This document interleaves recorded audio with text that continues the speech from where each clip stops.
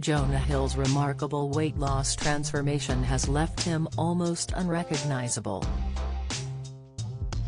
Over the past few years, the actor has undergone an impressive journey, shedding a significant amount of weight with the assistance of a nutritionist and personal trainer. Recently, he dropped an additional 40 pounds under their guidance, a transformation that left fans stunned. The Wolf of Wall Street star appeared slimmer than ever while meeting friends at a Los Feliz restaurant.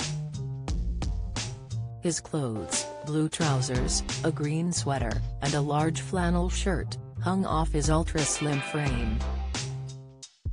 Jonah Hill hated Superbad co-star and tried to get him kicked out after attack. Latest, on another recent outing, he was wearing brown slacks, a fitted blue shirt, and a more clean-cut look his big beard and curls shaved off completely.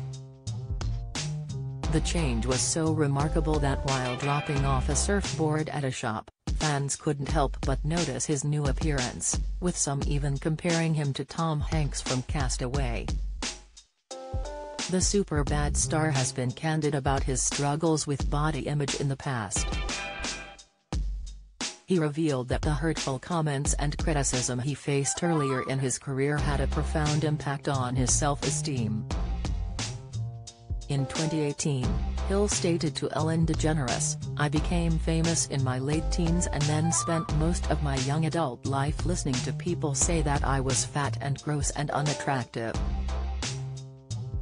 And it's only in the last four years writing and directing my movie, Mid-90s, that I've started to understand how much that hurt and got into my head, Hill continued.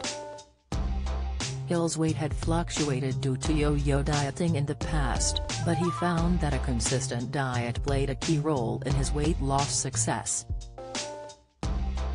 In the past, Hill has also highlighted his preference for Japanese cuisine as a factor that contributed to his progress.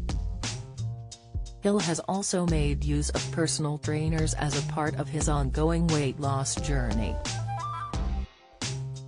However, amidst his personal journey and positive changes, Hill has also faced allegations of emotional abuse from his ex-girlfriend Sarah Brady. She accused him of misogyny and gaslighting in a series of Instagram stories. Among the text messages Brady made public, Hill was seemingly seen criticizing the professional surf instructor for posting photos on social media in swimsuits and surfing with men telling her they were his boundaries and if she couldn't meet them then he wasn't the man for her. Criticism has since run riot on social media, with some thinking Hill was allegedly weaponizing therapy talk in order to enact controlling behavior on his girlfriend. But others have stuck up for Hill, saying the private messages should have remained private, and claiming Brady waited to take down the actor shortly after his fiancée, Olivia Millar, gave birth to the couple's first child. Brady claims she waited for Millar to have given birth before making the accusations in order to prevent undue stress on the expectant mom and her unborn baby.